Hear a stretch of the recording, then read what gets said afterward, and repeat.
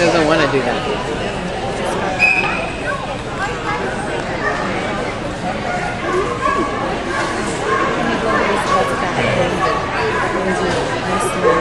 How many years have you been competing?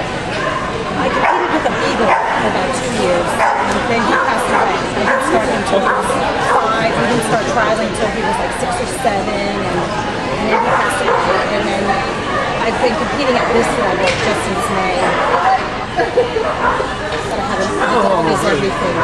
What the You have hell? dog that speed and consistency. And you can really do well. If you have an inconsistent slow dog, it's really. Boy, that was no good. I've had one of those dogs. I've had a But as soon as he messes up, she can just calm him I can down. pay attention to it and stuff. And now I have a that's just Really tuned into you.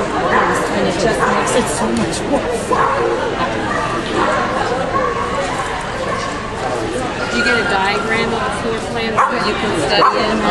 You only get that today? Get it when you get here. When the judge gets here,